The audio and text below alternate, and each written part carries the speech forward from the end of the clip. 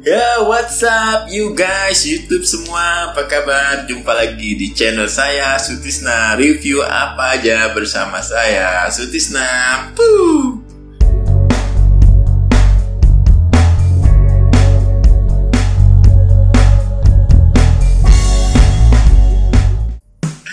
Ya, kali ini saya mau buat video singkat. Rencananya singkat Tapi nggak tahu nih, ujung-ujungnya kadang-kadang bisa sampai 10 menit Bahkan lebih ya. Kali ini saya mau buat uh, penjelasan mengenai chromatic scale di saxophone. Ya, apa itu chromatic scale dan kenapa saya putuskan untuk buat video mengenai chromatic scale secara khusus? Karena pengetahuan tentang chromatic scale itu adalah pengetahuan mendasar jika kalian mau atau ingin menguasai semua kunci di saxophone. Ya, seperti kita ketahui, jadi kalau saxophone itu kan alat musik transpos ya. Jadi secara singkat aja mungkin saya jelaskan di sini alat musik transpos itu jadi kalau kita main di nada dasar piano atau alat musik lain yang in C yang nada dasarnya C. Di saxophone itu nadanya bukan C tapi dia ditranspos atau turun satu setengah step. Nah apalagi itu satu setengah ya. Nanti saya coba jelasin sedikit ya. Jadi sabar ya sampai video ini berakhir. Coba kita ikuti ke mana arahnya. Yuk guys mari disimak. Ya jadi guys untuk transpos sendiri nanti rencananya saya mau buat video tersendiri untuk cara transpos dari saxophone ke piano mungkin atau dari piano ke saxophone. Nada dasarnya. Kalau saya udah buat mungkin saya akan buat di sini nih cardsnya. Saya mau kasih uh, linknya.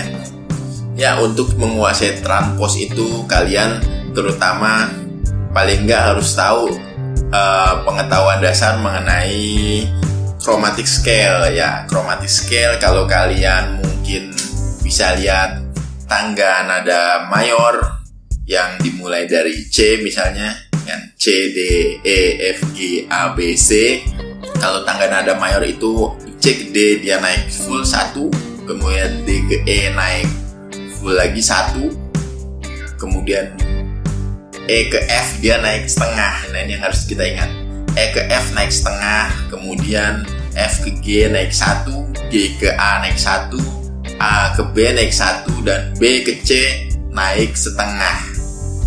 Ya, jadi ada dua yang naik setengah dari nada ketiga ke empat, Mi ke Fa atau tadi E ke F, kemudian nada ke tujuh ke nada ke delapan atau ke Do yang keduanya. Jadi dari C ke Do atau dari B ke C Nah, pentingnya pengetahuan dasar mengenai nada kromatik ini adalah pada saat kita ketemu nada yang naik satu, kita kesampingkan dulu nada yang E ke F dan B ke C, ya itu karena nadanya naiknya setengah atau jaraknya setengah.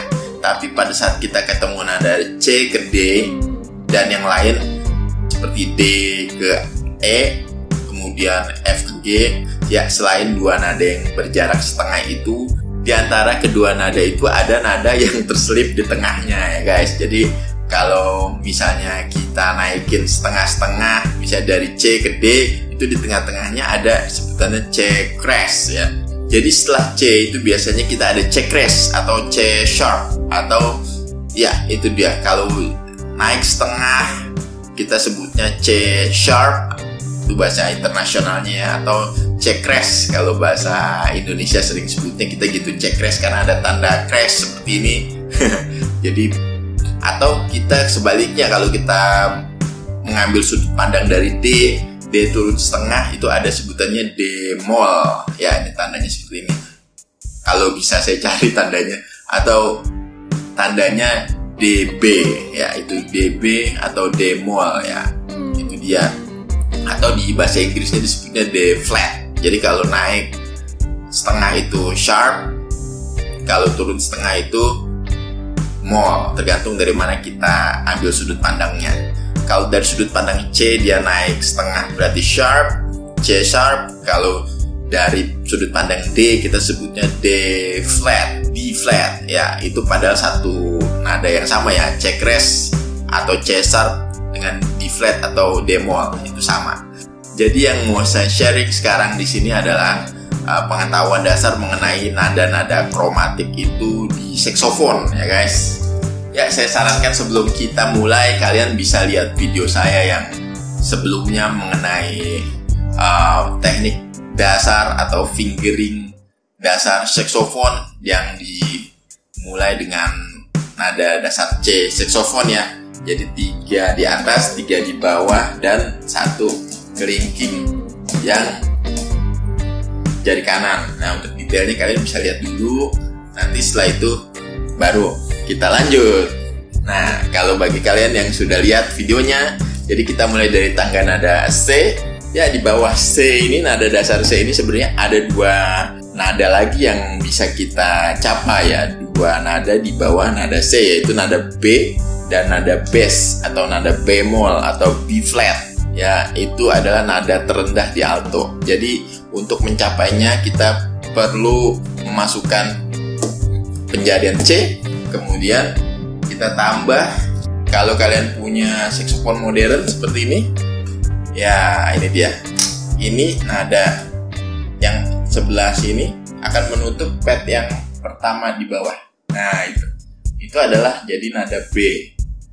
Kemudian yang paling besar yang di bawah ini akan menutup kedua-duanya.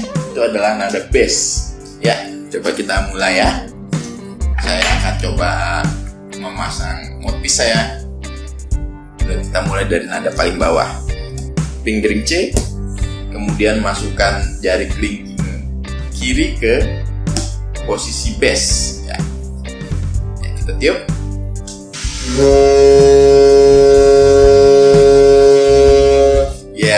dia nada terendah di saxophone alto yaitu bass. Setelah fingering bass kalian tahu kemudian posisi tetap posisi C yang sama hanya jari kelingkingnya kita coba pindahin ke ke sebelah sini sehingga dia akan menutup satu saja yang di pad bawah ini. Coba kita lihat. Nah kita akan nutup yang itu aja. Jadi setelah B tadi setelah bass jadi setelah bass tadi akan naik setengah ke B jadi setelah B baru nanti naik setengah lagi ke C yaitu yang kita udah pelajari sebelumnya ya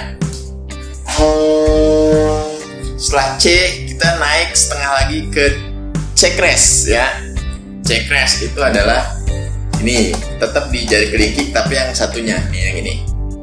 Jadi ya jadi dia akan membuka pad yang ini. Iya itu dia. Jadi kita coba dari C.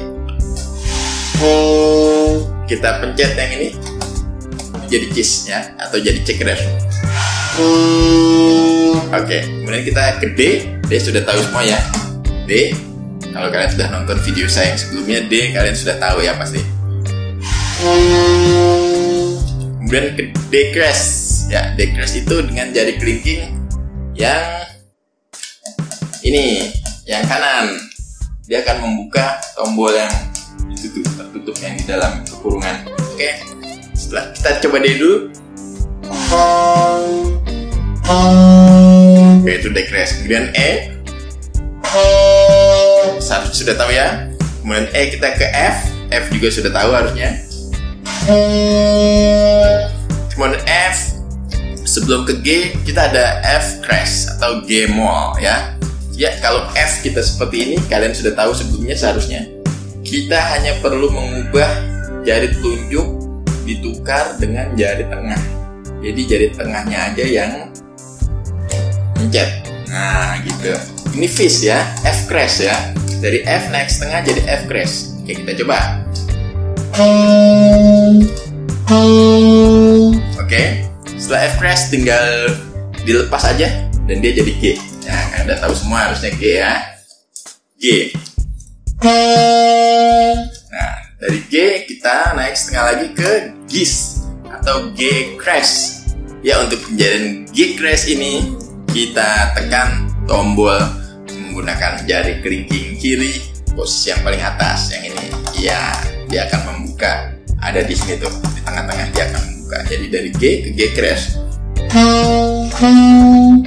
Terus ke A ya.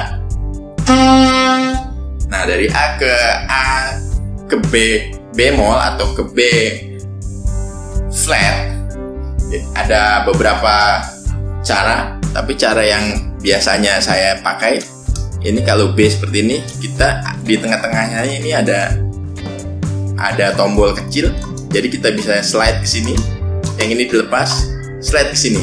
Coba ya nah itu next tengah dari B ke dari A ke base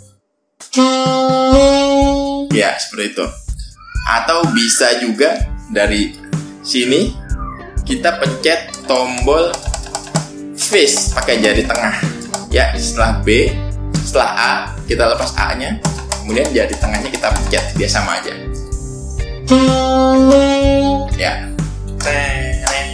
Jadi kalau kita pencet F crash yang ini pakai jari tengah ya otomatis yang kecil ini juga bisa turun. Jadi daripada begini ya kita bisa kita lepas saja kemudian tekan ini sama aja. Ya seperti ini. Ya gitu sama aja suaranya. Kemudian dari bass kita ke B. Tinggal dilepas aja ya. Dari B ke C sudah tahu semua ya dan dari C ke C crash kita tinggal lepas aja semua. Kalau kita lepas semua ini uh, nadanya crash atau C sharp ya. Nah itu. Itu dari bass paling bawah ke C crash yang kita lepas semua. Nanti untuk pengulangannya tinggal dipencet tombol oktavnya. Kemudian nadanya sebenarnya keluarnya sama aja. Hanya beda lebih tinggi satu oktav seperti ya kita coba ulang ke bawah dari C crash sampai bass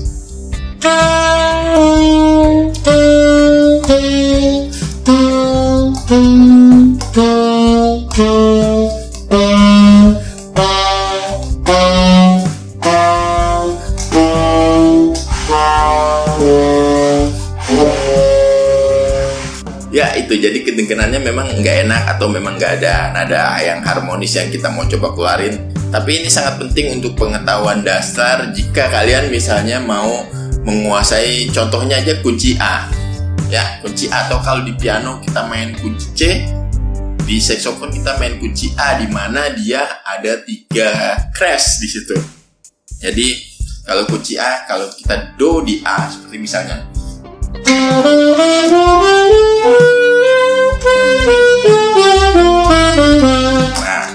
pada saat do re mi itu sudah a b dan tidak c tapi ke cis ya. Jadi pengetahuan dasarnya kita harus paham cis itu kita lepas semua. Kemudian b e bukan ke f tapi ke fis dan kemudian bukan g tapi ke gis. Dan pengetahuan dasar mengenai cis, fis dan gis dan nada kromatik yang lain itu hanya bisa kalian ketahui kalau kalian mempelajari nada kromatik di saxophone. Jadi sebelum kita mulai beranjak misalnya kalian mau belajar kunci A atau kunci B atau kunci C dan semua kunci di saxophone kalian harus coba dulu. Ya kalian paling nggak harus tahu dulu kunci-kunci kromatik atau nada-nada kromatik di saxophone kemudian fingeringnya. Ya kita mulai kita coba lagi dari bass ya. Kita pencet semua terus geser ke B. Lepas ke C. Kemudian ke cis pencet lagi yang sebelah sini. Kemudian ke D kita lepas yang C nya kemudian dis kita pencet pakai kelingking E. Ya ke fis ke jari tengah kemudian ke G kita lepas. Gis kita pencet pakai kelingking posisi G kita tambah kelingking terus A. Terus bass B. Itu C. Kemudian cis dilepas semua. Kalau di tips secara agak cepat seperti ini mungkin ini Ya,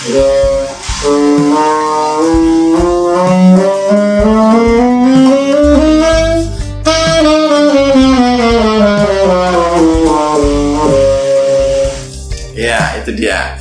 Jadi pengetahuan dasar mengenai penjarian nada-nada kromatik di saxophone alto, kemudian penjariannya. Jadi selamat berlatih. Setelah ini kita mau coba buat video mengenai cara transpose dan cara setting saxophone. Nah, kalau saya udah buat di sini nih listnya.